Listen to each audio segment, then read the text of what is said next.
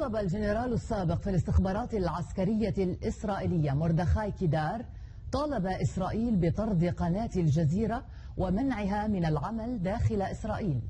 جاء ذلك في مقال نشره تحت عنوان اعرف عدوك قال فيه إن قناة الجزيرة هي الوسيلة الرئيسية التي تستخدمها قطر للتأثير على مجريات الأحداث في الشرق الأوسط. واعتبر مردخاي أن العنصر الرئيس في خطاب الجزيرة وقطر هو أن إسرائيل مشروع غربي استعماري يجب شن الحرب عليه بكل الوسائل. وقال الجنرال السابق إن الجزيرة أداة التحريض التي تستخدمها قطر لنشر فلسفة الإخوان المسلمين التي ستحل محل الإيديولوجيات العلمانية حسب مقاله. وهاجم مردخاي المبادرة القطرية لرصد صندوق لدعم القدس لحماية الطابع العربي والإسلامي للمدينة وتعزيز صمود أهلها.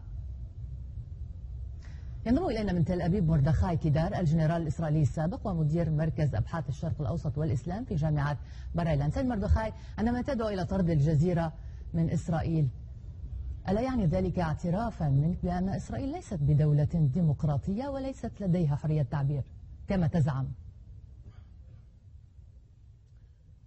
الديمقراطية ليس لها أن تكون أداة لتصفية الدولة الديمقراطية.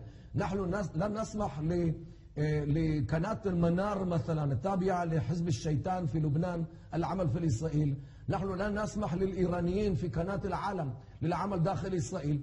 الديمقراطية لازم أن تدافع عن نفسها من كل من يريد تصفيتها مثل قناة الجزيرة الناتجة بلسان إمارة قطر في في في الخليج. ولذلك على إسرائيل إذا كانت تريد الحياة ولا تندم إلى المكان التي انضم إليه مبارك وكذافي وعلي عبد الله صالح وزين العابدين بن علي وربما الأسد أيضا على إسرائيل أن أن تطرد من هذه من هذا المكان قناة الجزيرة أو تضع شروط لعملها مثل يعني استضافة الإسرائيليين للتعليق على كل ما تنشره هذه القناة الجهادية ضد إسرائيل والجهاد الإعلامي كما يعلم الجميع هو نوع من أنواع الجهاد المتبعة اليوم في قناة الجزيرة ضد كل من لا يروق للإخوان المسلمين مثل ولكن إسرائيل. على ما تستند في هذه الاتهامات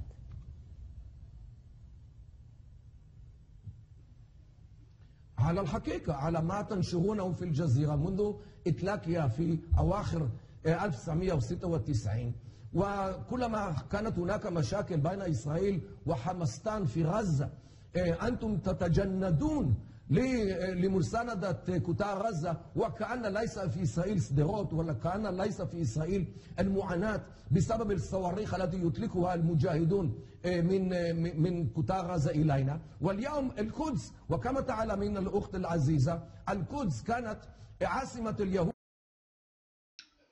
سي بيرمي بيان سور عيط لها أختي العزيزة غنبداو يتاكلوا الكلاب